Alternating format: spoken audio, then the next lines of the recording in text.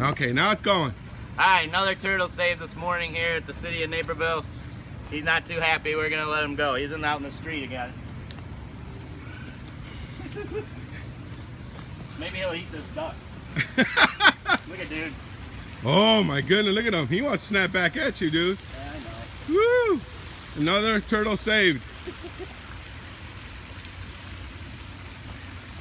There you go. Look at him.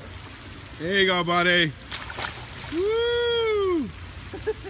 Another fine job, city employees. All right.